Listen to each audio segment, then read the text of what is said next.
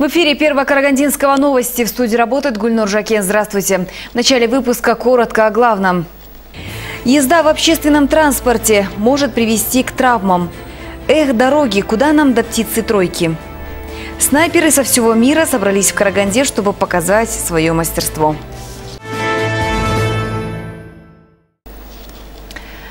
Караганда – областной центр, который гордо именует шахтерской столицей. Качество обслуживания карагандинцев тоже хотелось бы иметь столичное. У нас самый дорогой в Казахстане проезд на общественном транспорте. Но к пассажирам отношения отнюдь неуважительные. В Караганде автобус номер 19 переехал руку мужчине, который не успел выйти из салона.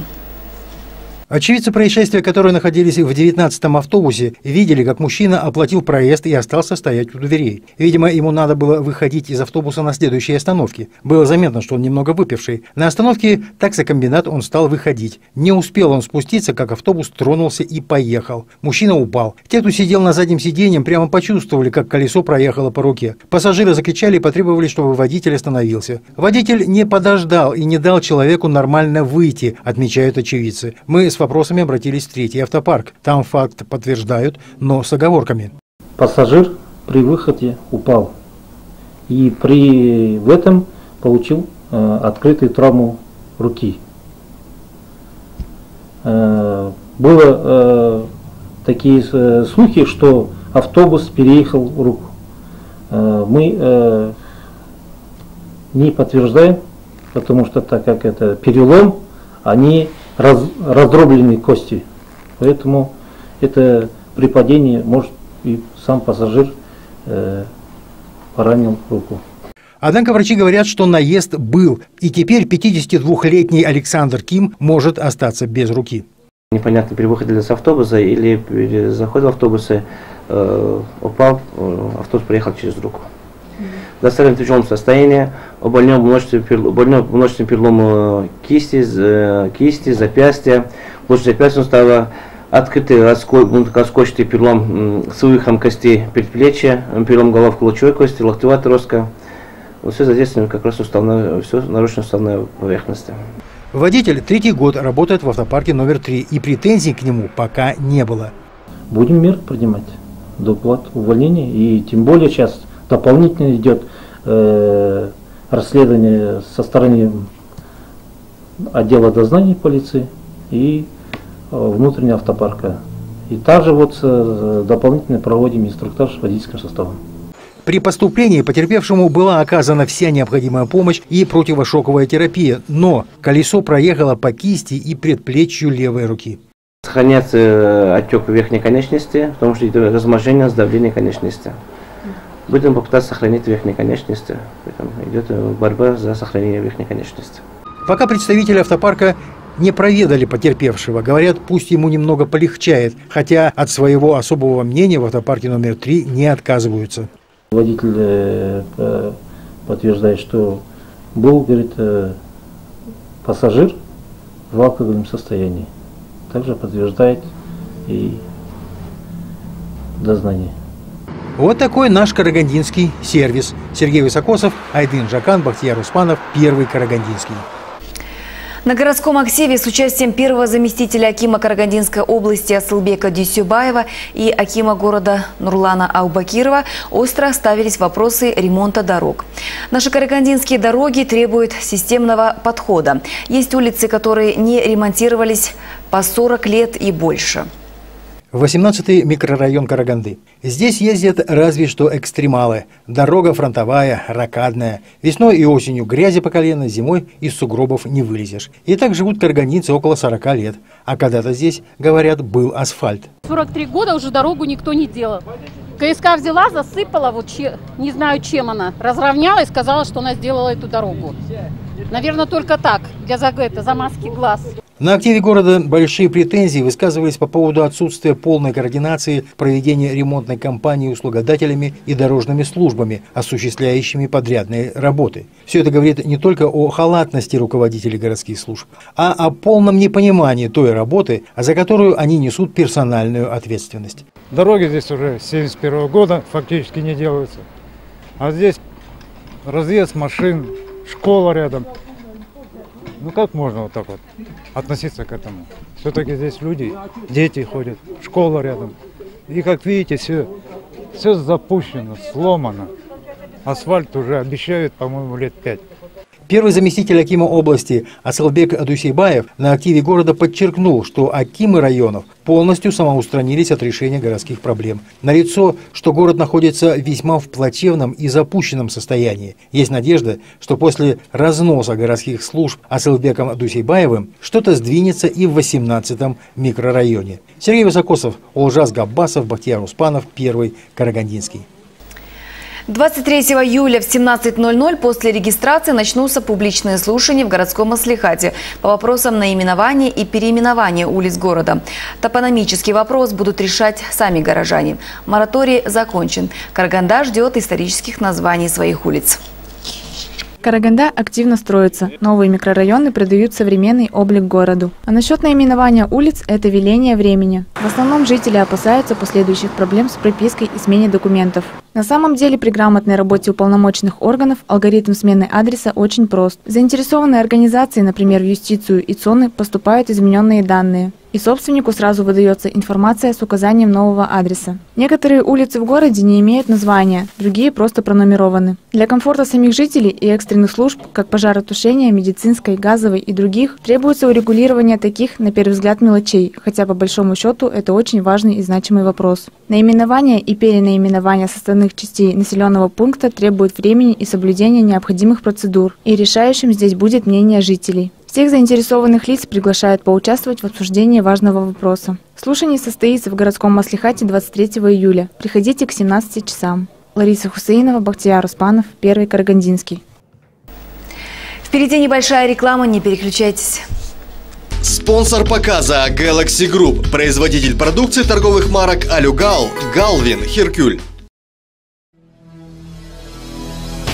Торговая марка Galvin представляет Эконом-серия профиль Galtec 53 серии Эконом-система трехкамерных профилей монтажной шириной 53 мм представляет собой качественное и экономичное решение. Если вам нужны внутренние перегородки в магазин, офис, балкон или лоджию, это ваш профиль. Стандартная система профиль Galvin. Профиль Galvin 60 серии. Это система четырехкамерных профилей с монтажной шириной 60 мм. Идеально подходит для любого климата и региона. Система стандарт относится к классу А, а значит полностью соответствует современным требованиям качеству оконных и дверных профилей. А теперь новинка. Серия «Эксклюзив». Пятикамерный профиль Galvin 70 серии. Монтажная ширина 70 мм. 5 камер и наличие дополнительного паза для резинового уплотнителя значительно повышают тепло- и звукоизоляцию. Толщина лицевых стенок 3 мм. Помимо белого цвета, профиль Galvin выпускается в шести цветах.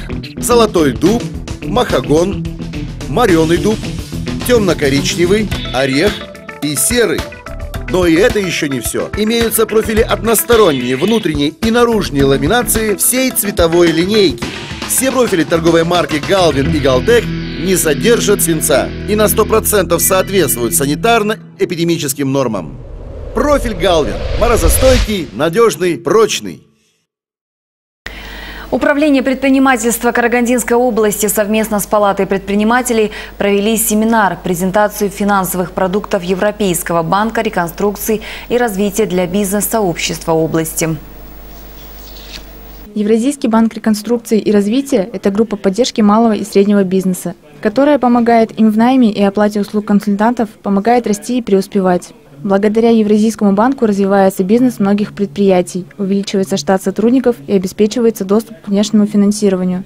Сегодня ЕБР вот, на данном семинаре презентовали а, свою программу поддержки а, малого-среднего бизнеса, которая осуществляется в рамках банка, и критерии, по которым финансируют, они финансируют э, проекты. В основе Европейский банк финансирует крупные инфраструктурные проекты, а поддержки малого и среднего бизнеса, они э, оказывают содействие, э, чтобы малый и средний бизнес мог у себя внедрять системы качества, э, автоматизацию бухгалтерских учетов, маркетинг могла проводить, правильно могла отработать свою стратегию развития. Евразийский банк работает в 25 странах Южной и Восточной Европы, Северной Африки, Ближнего Востока и Центральной Азии. С 1993 года банк помог более 14 тысячам предприятий получить ноу-хау в управлении бизнесом.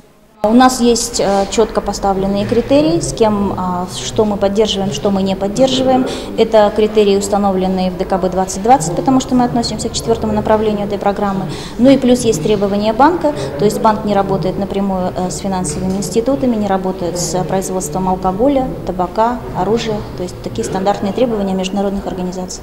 В Казахстане Евразийский банк с 1998 года помог более тысячи предприятиям получить консультации. Общая сумма донорских вложений составила 14,5 миллионов евро. На данный семинар были приглашены филиалы банков второго уровня, государственные органы, а также более 50 предпринимателей области. Лариса Хусейнова, Кайрат Рашитов, Бахтияр Успанов, Первый, Карагандинский. Последнее время туристические компании Казахстана пошатнули тур-отдых не на шутку. Теперь желающие выехать по путевкам за рубеж семь раз подумают, стоит ли связываться с той или иной фирмой. Туристический бизнес понес еще одну утрату. В Караганде менеджер туркомпании продала поддельные путевки более чем на 1 миллион тенге. Казыбекбийским районным судом города Караганды рассмотрено уголовное дело в отношении менеджера туристической компании, обвиняемой в совершении мошенничества в крупном размере, сообщили в пресс-службе Карагандинского областного суда. Некая гражданка, работая менеджером ТО Comfort Travel Company, путем обмана и злоупотребления доверием получила лично денежные средства, представив подложную документацию по туристическим путевкам в Турцию. Помимо этого, проходя стажировку в ТО «Квинтур», не имея на то права, обвиняемая выписала авиабилеты на мнимых пассажиров, причинив тем самым ТО «Квинтур» материальный ущерб на общую сумму около 500 тысяч тенге. Приговором Казабебийского районного суда города Караганды женщина признана виновной, и ей назначено наказание в виде трех лет лишения свободы с отбыванием наказания в исправительной колонии общего режима. В связи с беременностью подсудимой лишение свободы отсрочено на один год.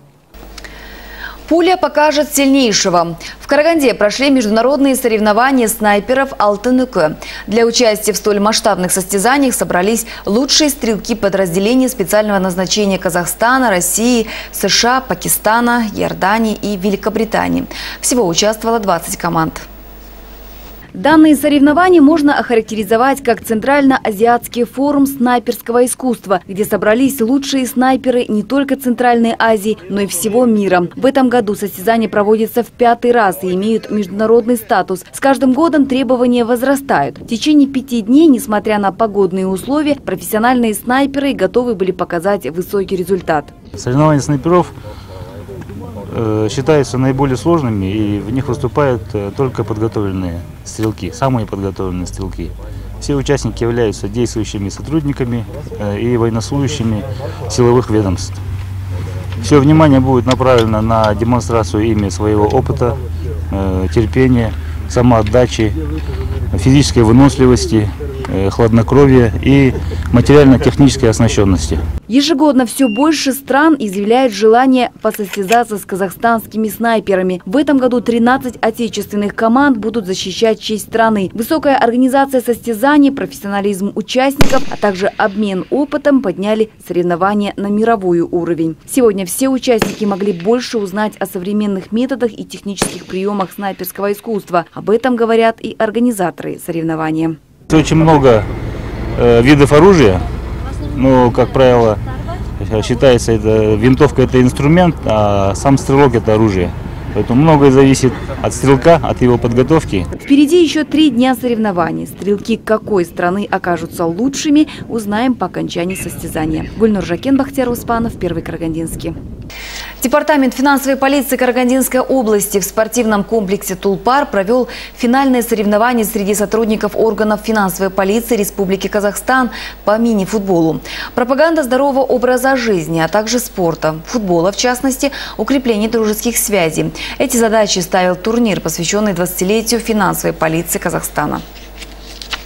Соревнования, приуроченные к 20-летию со дня образования органов финансовой полиции, в лично-командном первенстве проводились в городах Талды, Кургане, Павлодаре, Актау и Астане. В результате в финал вышло 6 команд. Агентство финансовой полиции Республики Казахстан, департамент по городу Астане, Алматинской, Казахстанской, Атырауской и Карагандинской областей. В результате финальных соревнований, которые проходили в Караганде в спорткомплексе Тулпар, победу одержала команда департамента Алматинской области. Второе место заняла команда департамента Атырауской области, третья команда департамента Костанайской области. Кроме того, были определены лучший вратарь Егеубеков Ерлан Атырауская область, лучший защитник Рахманов Уркен Костанайская область, лучший нападающий Дасумов Манат Алматинская область.